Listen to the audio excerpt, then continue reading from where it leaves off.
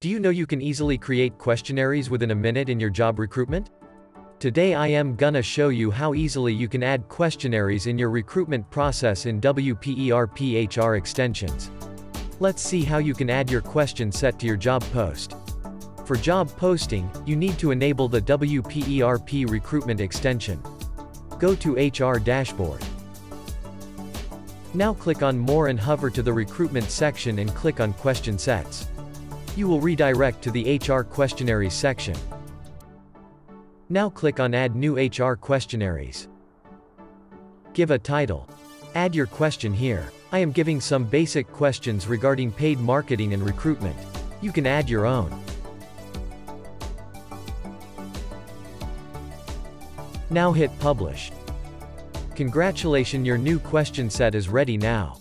You can use it for any related job posting from now on. If you want you can edit from here. Isn't it easy?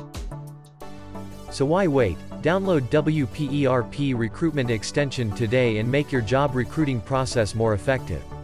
For more updates, you can join our social pages, and don't forget to subscribe to our channel.